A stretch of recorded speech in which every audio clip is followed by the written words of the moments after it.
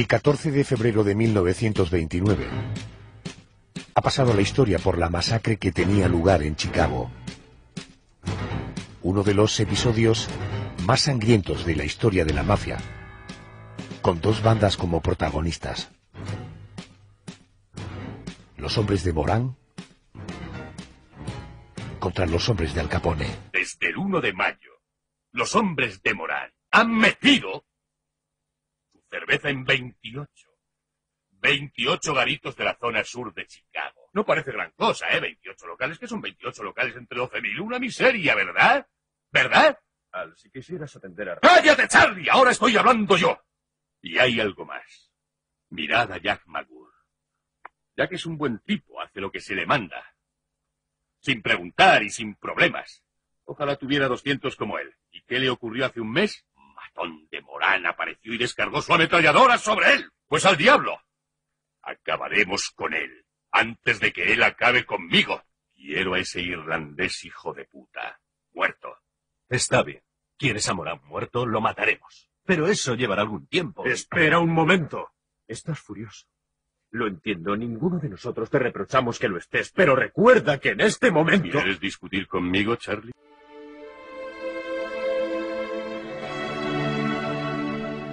El día de San Valentín, el 14 de febrero, es una celebración que procede de la tradición de los países anglosajones y que poco a poco se ha ido incorporando al calendario sentimental de casi todo el planeta como el Día de los Enamorados.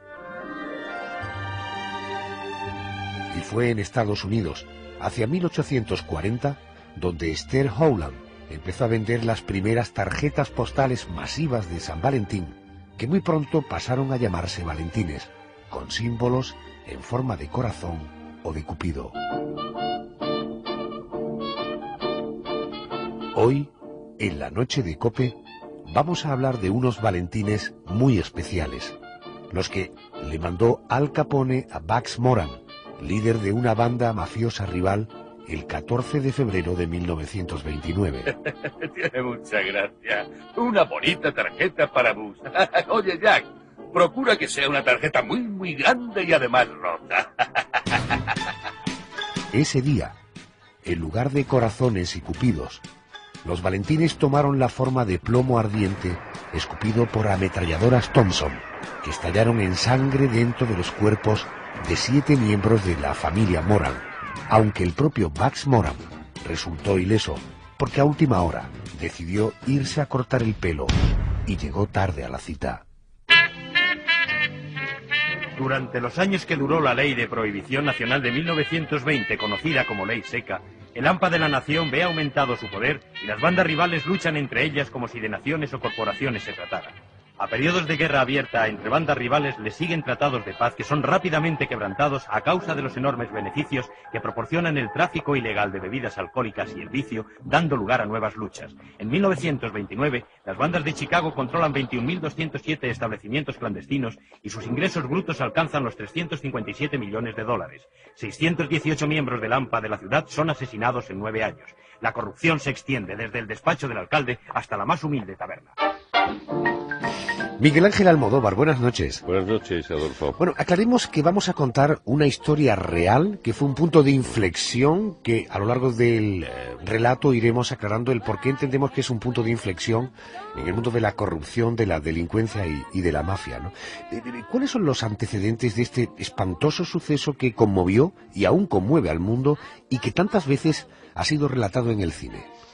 Pues como dices, yo creo que es un hecho singular, eh, independientemente de su, de su aspecto criminal. Yo creo que es clave en la historia contemporánea, desde luego en la historia de Estados Unidos.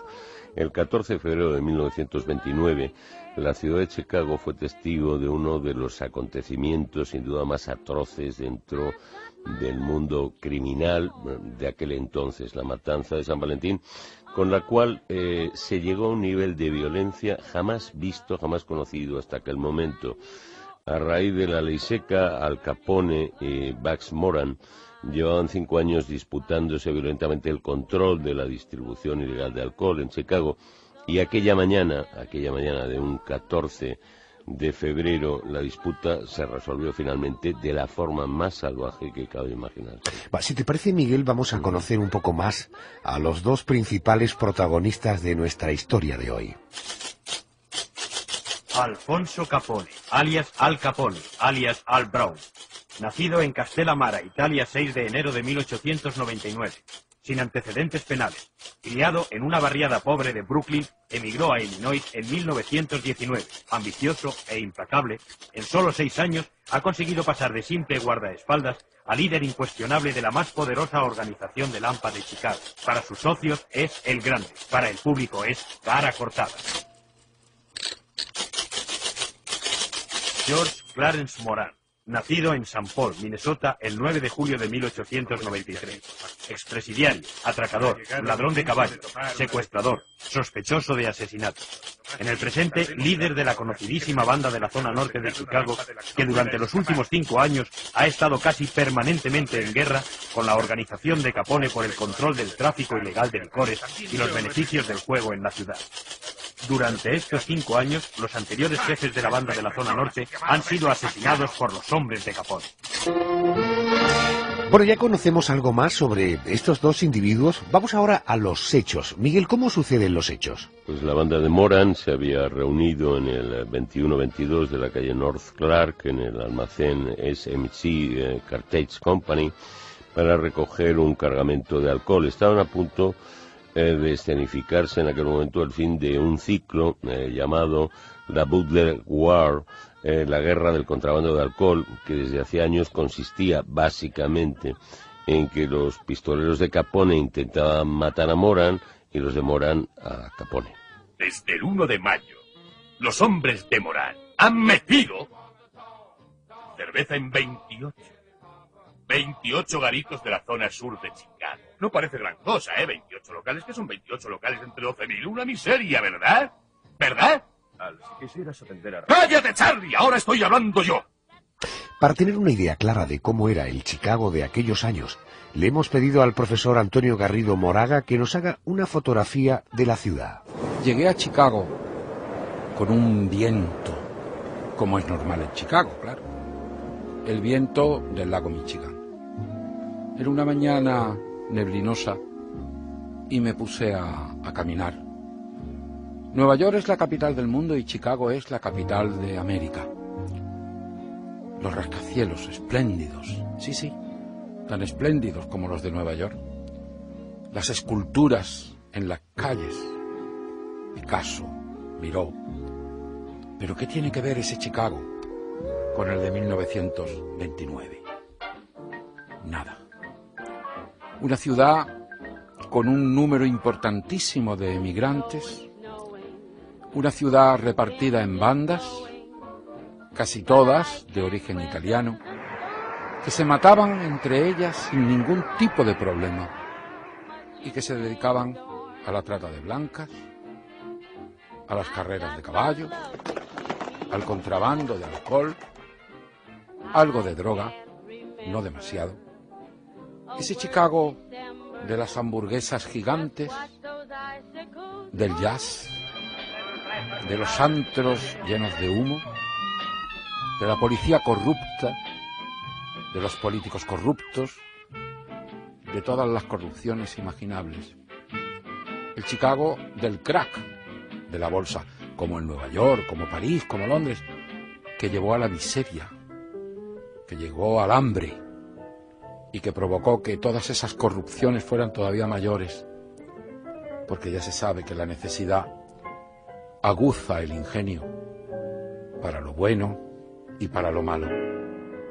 Me vino a la mente aquella mañana cuando llegué a Chicago la crónica negra de la ciudad, justo en el momento en que el metro aéreo, ese metro tan característico que va entre los rascacielos, cruzó delante de mis ojos.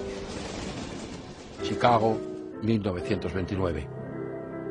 Un lugar perfecto para el crimen.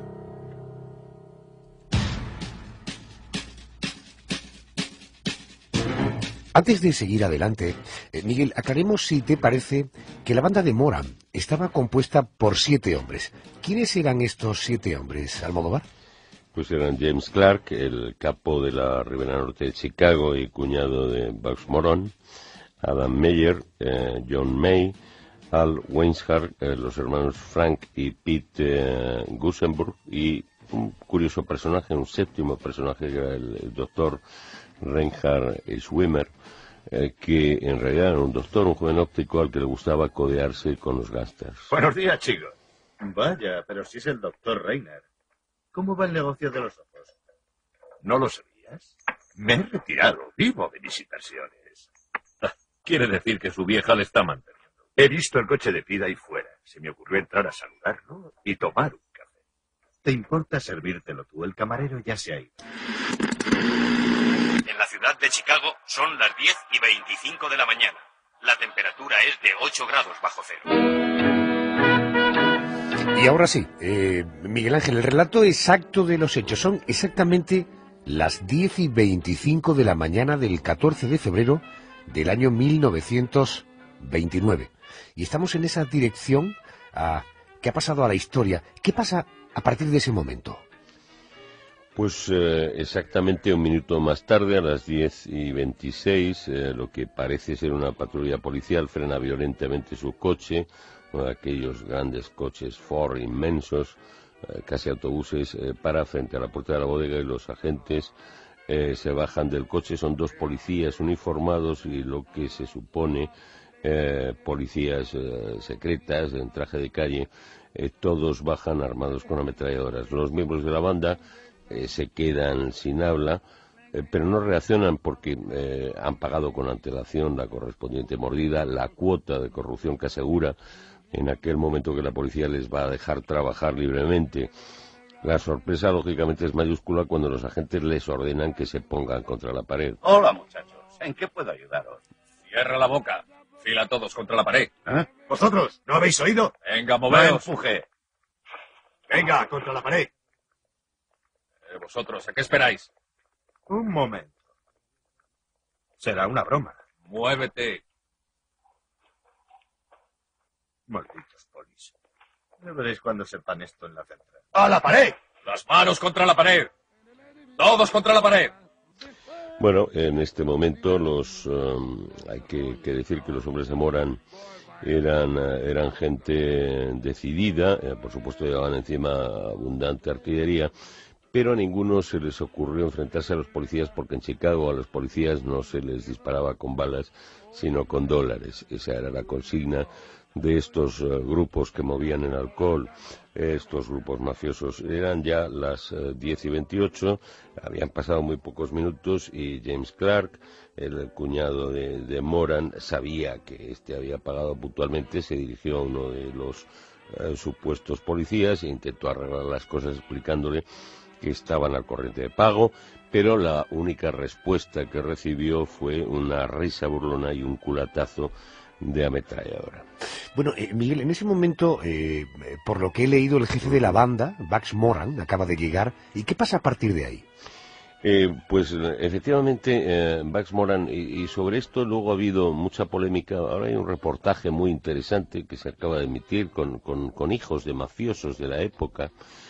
pero bueno, el caso es que la, la, versión que tenemos es que él llega, se encuentra el coche policial a la puerta del garaje eh, de, este almacén donde ha quedado con su banda, eh, lógicamente retrocede y se refugia en una cafetería próxima a esperar acontecimientos, mientras en el interior del almacén los siete miembros de su banda permanecen aún de cara a la pared y aún no saben que los policías no son tales, sino miembros de la banda de Al Capone convenientemente disfrazados.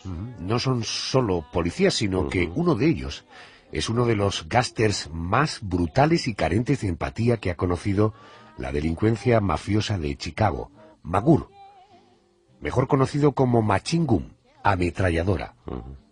A las diez y media en punto, las metralletas empiezan a escupir fuego, y los que sobreviven a la primera ráfaga son ejecutados a sangre fría. En el escenario del crimen se encontraron más de 400 balas de grueso calibre 45 que las Thompson disparaban a una velocidad de 800 por minuto. El único superviviente de la matanza fue el perro del almacén. Estaba atado, lejos, y empezó a ladrar frenético hasta que acabó alertando a los vecinos. En aquella época, en Chicago, llamaban más la atención los aullidos de un perro que un vendaval de tiros. Unas horas después de la matanza de San Valentín, la prensa consiguió localizar a Morán, algo que la policía no había logrado aún. Señor Morán, ¿dónde estaba usted cuando ocurrió? Fuera de la ciudad. ¿Cuánto tiempo cree que estará en cama? Bueno, no estoy seguro. No sé, un par de días quizá. ¿Sabía que la policía le está buscando, señor Morán? No me explico por qué. Yo no estaba allí. ¿Le deja esto fuera del negocio? Me parece que se confunde. Yo me dedico al negocio inmobiliario. Algunos periódicos dicen que trabajaban para mí.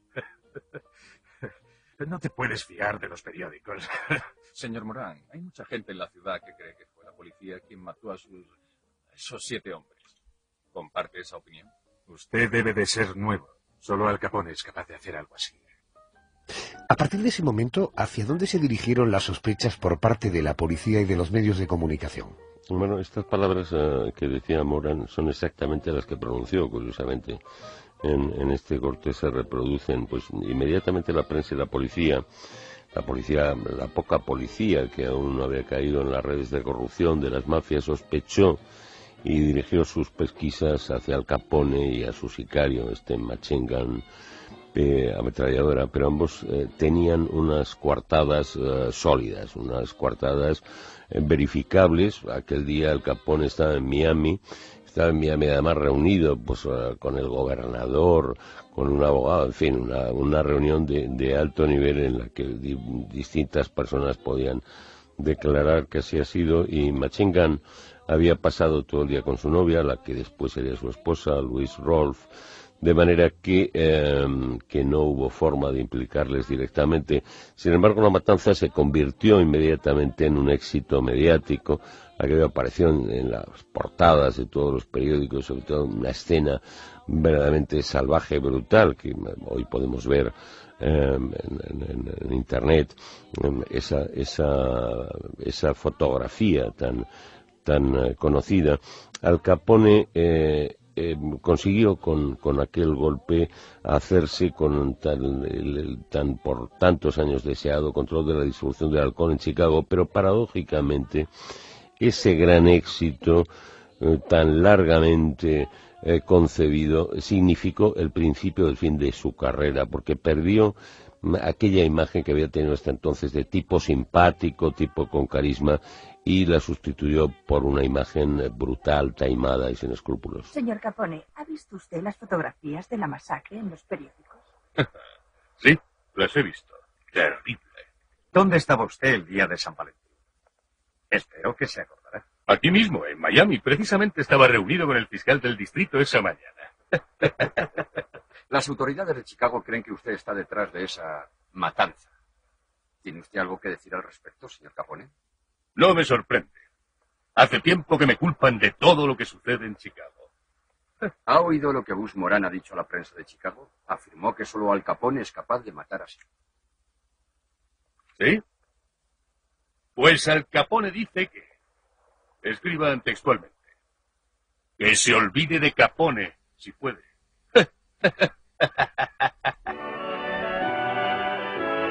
La matanza de San Valentín, además de un hecho increíblemente brutal y sanguinario, fue el final, lógicamente provisional, de una guerra étnica entre italianos e irlandeses. Y aquí me asalta una duda, Miguel. ¿Ese componente étnico eh, pudo estar en el germen, en el desarrollo de los fenómenos del gangsterismo?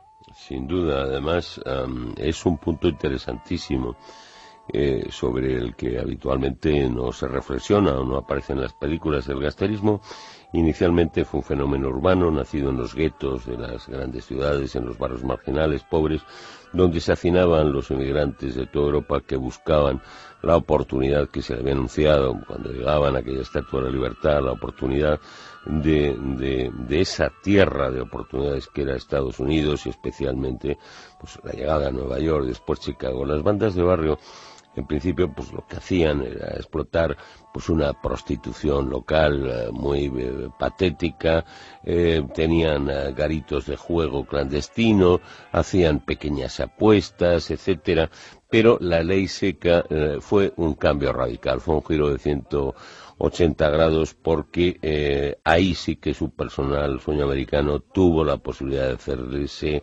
realidad y, de ellos lógicamente de hacerse inmensamente ricos. Mercancía comprobada, un long cabin auténtico. ¿Cuántas cajas? 82, señor. Yo mismo las he contado. Nick no miente, quiere conservarse sano. ¿Verdad que sí, Nick? 82 cajas a 56 dólares la caja hacen un total de 4.592 dólares. Miguel, eh, ¿cuál fue el periodo comprendido, en años me refiero, eh, que estuvo vigente la ley seca? La ley seca estuvo vigente entre 1920 y 1933, es decir, nada menos que 13 años. Eh, fue una ley establecida por la enmienda 18, eh, las enmiendas que se hacen a la Constitución de Estados Unidos, y fue derogada por la enmienda 21. Curiosamente, y este es un punto yo creo que crucial para que nuestros oyentes entiendan de, qué se trata eh, o, por lo menos en qué contexto se desarrolla esta historia. De la ley seca o prohibition como fue denominada informalmente en Estados Unidos no prohibía mm, no prohibía el consumo de alcohol.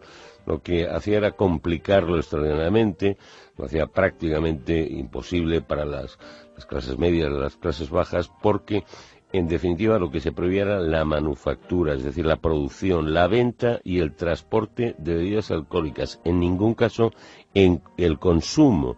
De manera que, bueno, eh, eh, todo aquello, al final, a quien beneficiaba eran los grandes poderes, pues a la, gente que tenía eh, dinero para pagárselo, pero bueno, pues dejaba a, a, la inmensa mayoría de la población en una situación verdaderamente absurda. Tan absurda era la cosa que se, que se comercializaba, eh, el vino estaba lógicamente prohibido, pero eh, no el jugo de uva. Entonces el jugo de uva se vendía en una forma de ladrillos semisólidos, los llamados bricks of wine, ya el nombre, ladrillos de vino, y era utilizada para la producción casera de vino, es decir, se daba un mosto que solo había que fermentar. Y los fabricantes ponían eh, una etiqueta en aquellos bricks diciendo que, eh, advirtiendo a sus clientes, advirtiendo a los usuarios, que no mm, eh, fermentaran aquello, porque entonces se convertiría el vino y violarían la ley. Es decir, era como un manual de instrucciones, eh, pero de una manera solapada. La gente hacía vino de aquellos bricks de, de mosto.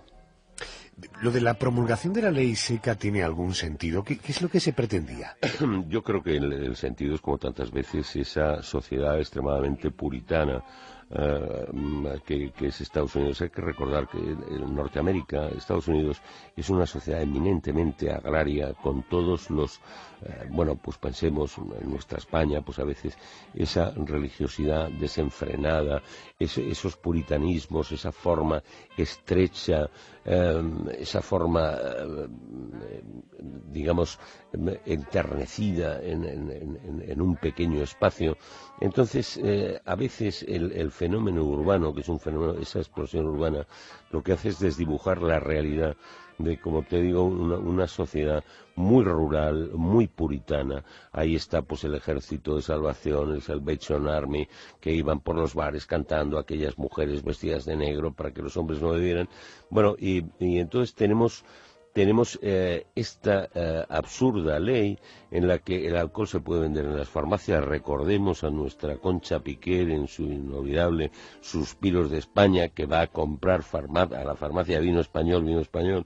Bueno, estas cosas eh, realmente la seca fue verdaderamente una cosa absurda. También luego mm, eh, eh, nunca aprendemos eh, de los errores y luego pues esto se repitió en la Unión Soviética, se repitió en Suecia el disparate porque esto lo que hace es generar pues alcoholismo, violencia, etcétera, como ocurrió en Estados Unidos. Ha habido experiencias posteriores, pero el hecho es que el, punto que, antes subrayabas de las guerras interétnicas que, en principio supuso la mafia, eh, la verdad es que es cierto porque tenemos la idea de, la mafia ligada a, Don Vito Corleone, al personaje del padrino, pero y, siempre son los italianos los que aparecen, Al Capone, Alfonso Capone era italiano, pero antes de que los italianos tomaran el, control del crimen organizado en Estados Unidos, sobre todo a raíz de la ley seca, que es lo que dispara y les ofrece unas extraordinarias oportunidades, tuvieron que luchar con grupos, grupos que también eran marginales, fundamentalmente irlandeses y judíos. Hay que decir que de las tres comunidades de judíos, irlandeses e italianos salieron famosísimos gáster en principio, por ejemplo, el capo neoyorquino Meyer Lansky o, Baxi Siegel, el que fue el inventor de Las Vegas, digamos el emporio de toda la corrupción y, de la delincuencia organizada, eran judíos. O'Banion y, su sucesor al mando de la Ribera Norte de Chicago, este Bugs Moran al que nos estamos refiriendo, eran irlandeses y Al Capone, en fin, uh, huelga decirlo, era italiano. Pero antes de eso hubo, eh, hubo guerras que eran fundamentalmente de grupos étnicos. Hay que decir también, y esto es muy importante, que en los años 20 los gásteres tenían aún una imagen muy seductora para muchísimos norteamericanos. Buena parte de la opinión pública no los veía como criminales, sino como simpáticos y desenfadados aventureros que desafiaban la injusta y absurda ley seca fabricando y distribuyendo el alcohol de contrabando que demandaba la sociedad. ¿Quién ha dicho que la gente está harta? ¿Los periódicos? ¿La radio? ¿Y ellos qué saben? ¿Creéis que a la gente le importa a quién se mata mientras no sea a ellos? Conozco bien a la gente, es mi trabajo. A la gente le encanta leer en la prensa que han matado a alguien. Pero el día de San Valentín de 1929, esa percepción iba a dar un giro radical de 180 grados. Hasta aquel fatídico día, Al Capone había sido para muchos un personaje muy atractivo y carismático.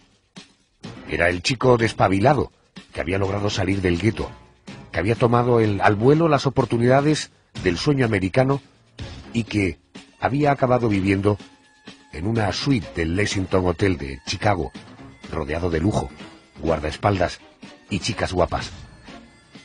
El 14 de febrero de 1929, descubrieron que en realidad era un simple asesino, un matarife calculador, despiadado y metódico, una auténtica amenaza social. Ante la alarma social que provocó el suceso, detallado y fotografiado en toda su crudeza por la prensa de la época, el mismísimo presidente Hoover tomó cartas en el asunto y exigió al sistema policial y judicial que se limpiara Chicago. Elliot Ness, agente especial del Departamento del Tesoro. Señor Ness. Gracias, jefe. A petición de la ciudad de Chicago, el gobierno federal, concretamente el Departamento del Tesoro, ha elaborado un programa especial para combatir la avalancha de alcohol ilegal y la violencia que ello conlleva. Señor Ness, ¿en qué consiste ese programa?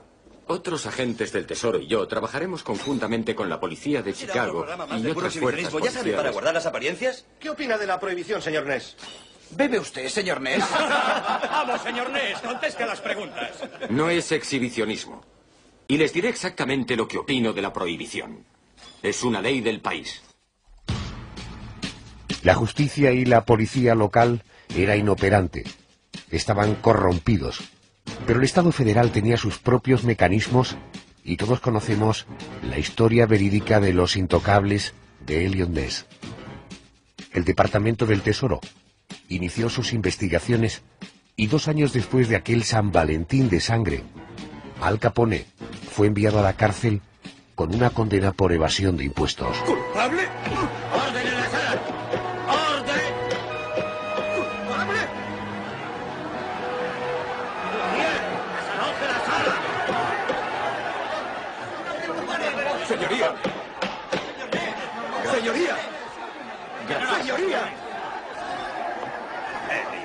Hacemos una parada en el relato, eh, contactamos con Salvador Ortega, licenciado en criminología, experto en crimen organizado y antimafia.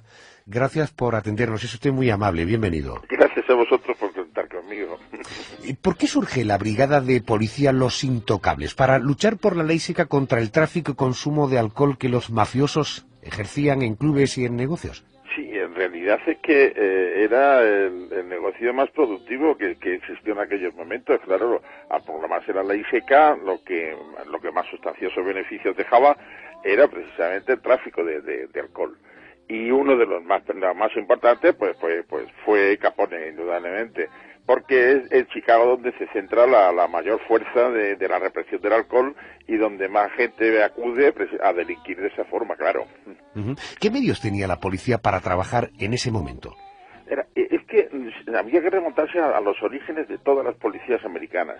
O sea, en Estados Unidos siempre, y sigue existiendo todavía, cada, cada estamento administrativo, y sin ser administrativo también, eh, tiene su propia policía, su propia policía además con elementos legales suficientes como para actuar por su propia cuenta. O sea, Correos tiene su policía de correos, también tiene su, su, policía el metro, también tiene su policía los ferrocarriles, también tiene, en fin, que hay distintas policías. Eh, yo recuerdo que, que llegamos a contar actualmente hoy 82 tipos de policías distintas y no supeditadas las unas a las otras. Entonces, en aquel momento, lo único que dependía del, del alcalde ¿eh? era precisamente las policías, las comisarías de distrito, donde estaban las policías que hacían todo. Eh, investigaban crímenes, igual que ahora, desde tráfico hasta cualquier cosa.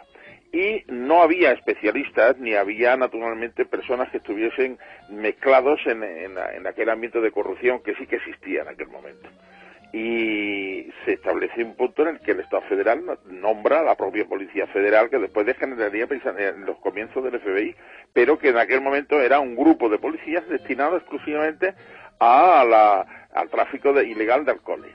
Eso es. Eh, Salvador, una pregunta, porque, claro, decíamos, eh, dos años después de aquel San Valentín de sangre, al Capone fue enviado a la cárcel con una condena por evasión de impuestos. Es decir, ¿cómo se las ingenió la policía para acusar a Al Capone de delito fiscal y llevarlo a la cárcel? Eh, hay que tener en cuenta que, Al Capone no, fue un gran famoso capo de la mafia. ¿eh? Al Capone fue uno de los jefecillos y dedicado exclusivamente al negocio que le interesaba, que era precisamente los clubes donde expendía alcohol y el tráfico ilegal de alcohol pero mm, a, Japón no fue nunca ni nunca lo pudieron condenar por, porque no había prueba por asesinatos ni siquiera por el tema de la, de, la gran reyerta de San Valentín y que la que él es uno de los principales que la provoca indudablemente.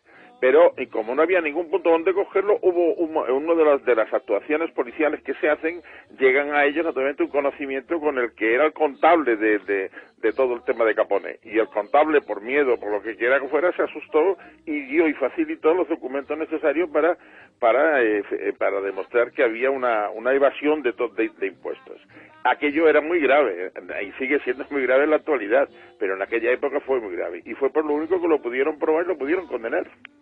Señor Ortega, gracias por atendernos. Vamos a continuar aquí con el relato de esta historia. Gracias y buenas noches. Nada, buenas noches. Gracias.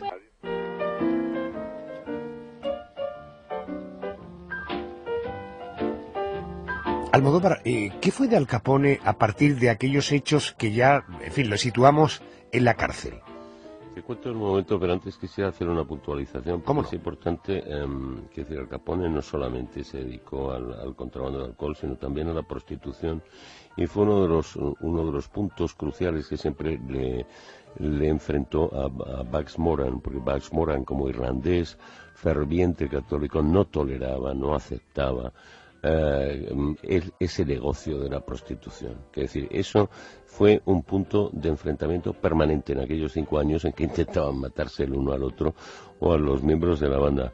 La verdad que la, prostitución fue de los negocios de Al Capone y que también le dio una pésima imagen ante la sociedad cuando luego todas estas cosas se conocieron. Es decir, que, que hay que introducir ese punto. Bueno, estábamos en la condena el, el 17 de octubre de 1931 eh, Alfonso fue encontrado culpable de cinco de los 23 cargos de los que se le acusaba y sentenciado a 11 años en una prisión federal. En un principio fue enviado a la prisión de Atlanta, pero ahí, eh, pues bueno, eh, podía hacer prácticamente lo que quería, consiguió controlar, seguir ejerciendo, digamos, de capo de, de todos sus negocios y eh, cuando todo esto se descubrió fue un escándalo, también la prensa contribuyó mucho a ello, fue trasladado a la prisión de, de Alcatraz, a la Roca, en agosto de, de 1934.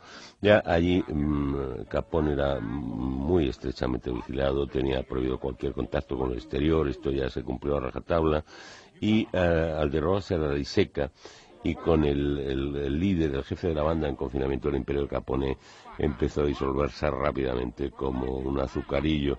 Ya a mediados de, de los años 30, de 1930, eh, Capone empezó a mostrar signos de demencia, probablemente, y esto tiene que ver con lo dicho anteriormente, a causa de una enfermedad venérea, probablemente una sífilis maltratada o tratada con los medios de entonces, que eran pues con, con sulfuros Uh, metálicos, en fin, el, el, caso es que él uh, empezó a, mostrar uh, síntomas de delirios y los últimos años de reclusión los pasó en el hospital de la prisión, fue liberado finalmente el 16 de noviembre de 1939, ya salió de la cárcel arruinado económicamente, muy débil físicamente y con la mente muy, muy deteriorada.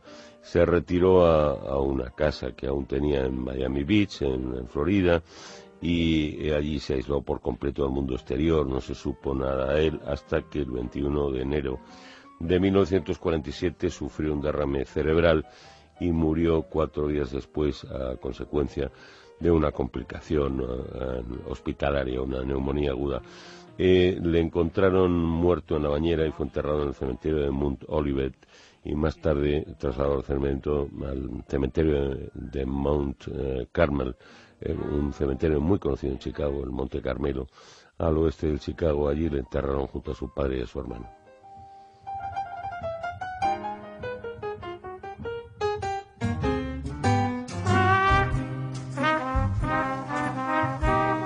De nuevo hacemos una parada. Quiero que me atienda Juan Luis Contreras, él es experto en novela negra, autor del libro Sevilla en negro. Juan Luis, buenas noches. Buenas noches, Adolfo. Bienvenido a la COPE. Muchas gracias. ¿Cómo lleva a, a, capo mafioso Alfonso Capone? ¿Perdón? ¿Cómo llegó a ser un capo mafioso? Bueno, pues tiene su historia.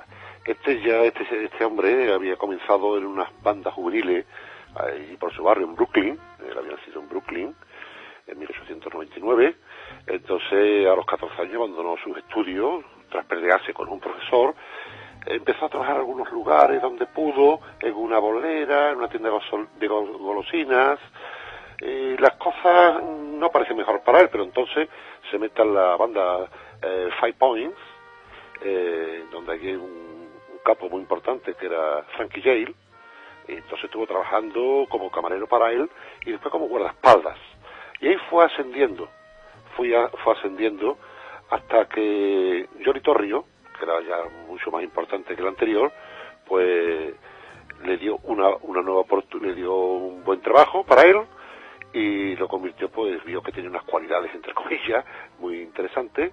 Y entonces, esto estamos hablando que ocurrió en Nueva York, pero eh, tuvo una pelea con, un, con otro individuo que le cortó la cara por culpa de una mujer y tal, y por eso lo llamaban cara cortada, Scarface.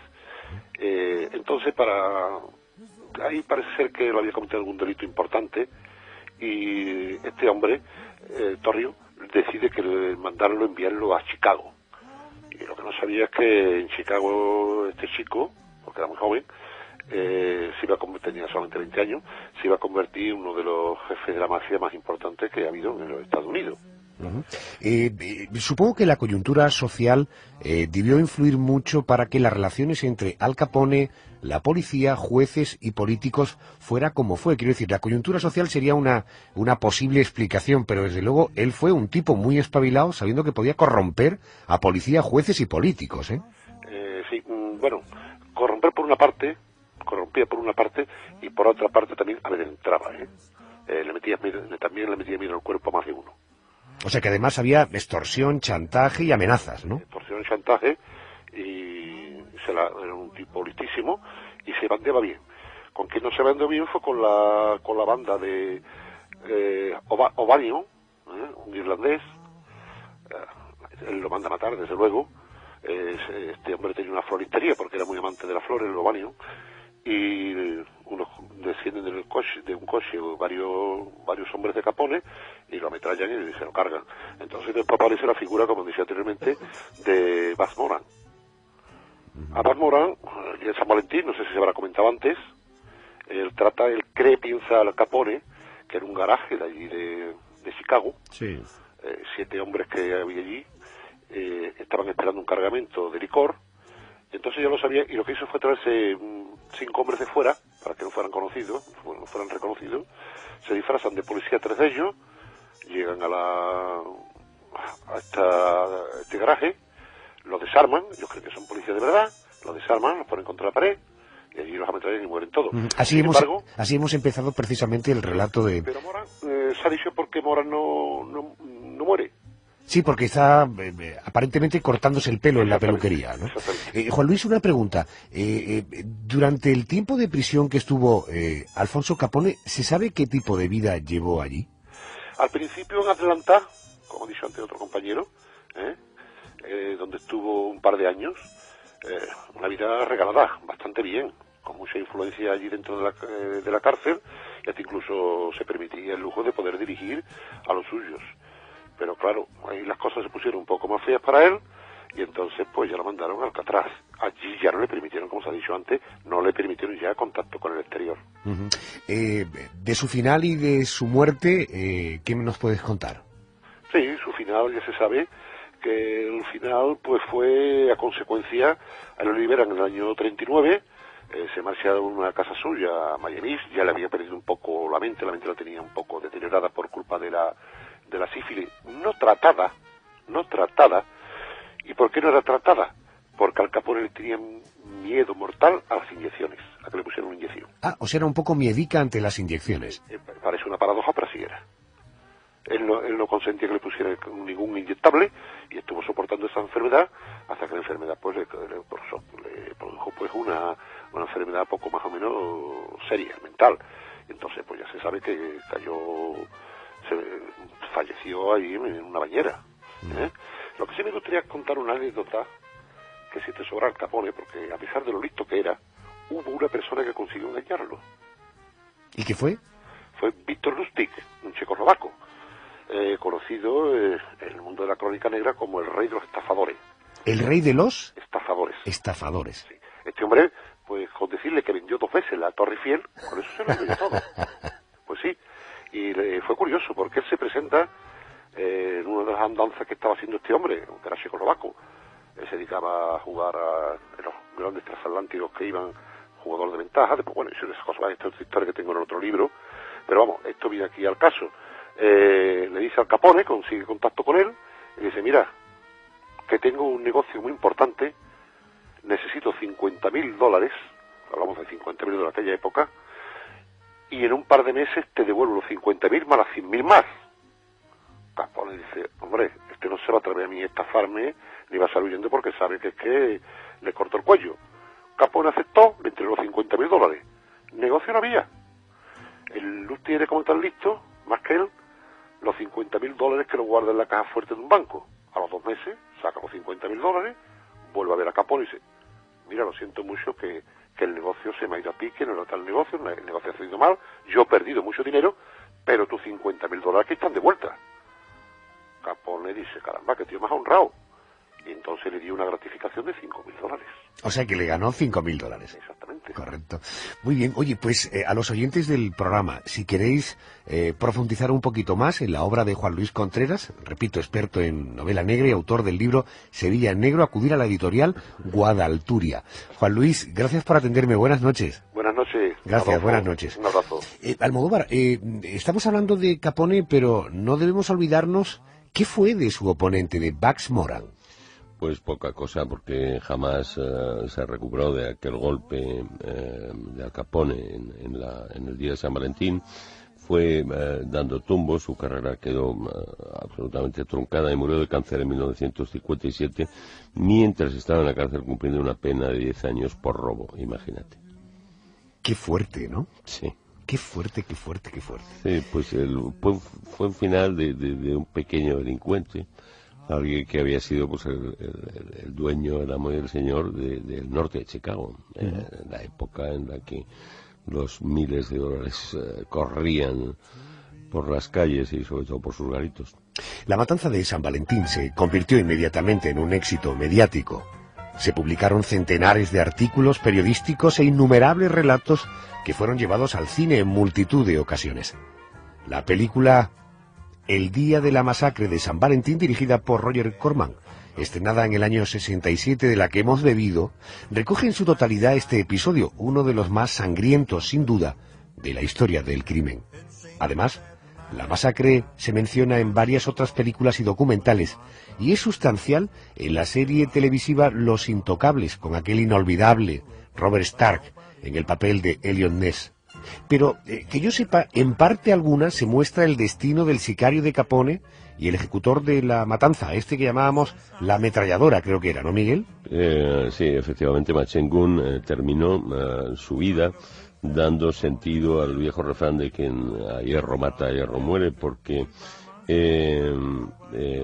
otro día de San Valentín, pero este de 1936, es decir, siete, nueve años, fue en el 29, siete años después estaba jugando a los bolos y fue acribillado a balazos. Su asesino, curiosamente, y esto se conserva, este documento le dejó en la mano un Valentín, estas tarjetas de felicitación, de amor, con un poemita que decía, has perdido tu trabajo, has perdido tu pasta, tus joyas y tus bonitas casas, pero podía haber sido peor, ¿sabes?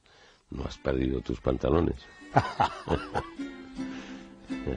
bueno, Miguel, ahora permíteme que sea yo quien explique el destino del cuarto personaje, el escenario de la masacre, el almacén, ese que tiene una dirección tan completa y que forma parte de la historia del gasterismo. ¿no? En el año 67 derribaron el edificio, pero un avispado empresario canadiense compró los escombros y en 1972 rehizo el muro contra el que fueron ametralladas las víctimas de San Valentín en un club nocturno que se llamó Años 20. Curiosamente, la pared restaurada se había instalado en el servicio de caballeros, pero era tal la expectación que despertaba entre la clientela que tres noches a la semana se permitía que las damas entraran en el urinario masculino. Años después, el club cerró, pero los 417 ladrillos del muro de la muerte, marcados por los impactos, fueron desmontados y puestos a la venta a mil dólares cada uno. Ahora, ese espacio, el solar donde estuvo el almacén, es ahora el jardín de una clínica, y no son pocos los ciudadanos de Chicago que afirman muy serios que por las noches se oyen a veces gritos y detonaciones y que no es raro que los perros aúllen y se muestren aterrorizados cuando pasan cerca. Como los atrae la estación de tren de la ciudad, donde Hollywood se inventó la famosa escena de los intocables del Ness. Nada que ver con la realidad, pero ya un hito más en la historia de los gángsters de Chicago. Los intocables dan nombre además a una compañía que embarca a los turistas en un típico autobús escolar pintado de negro para hacer un recorrido completo de la ciudad de los gángsters. En cuanto a los descendientes, de todo hay, sobre todo rumores y noticias sin confirmar, todos los intentos por abrir la tumba de Al Capone para comprobar el ADN de sus supuestos descendientes han sido inútiles. Perfecto, gracias Juan, buenas noches, gracias.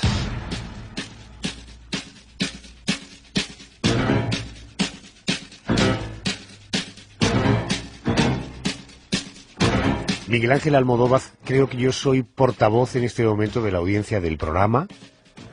En nombre de todos ellos y en el mío propio, gracias y nos encontramos en siete días. Muchas gracias a vosotros y un fortísimo abrazo.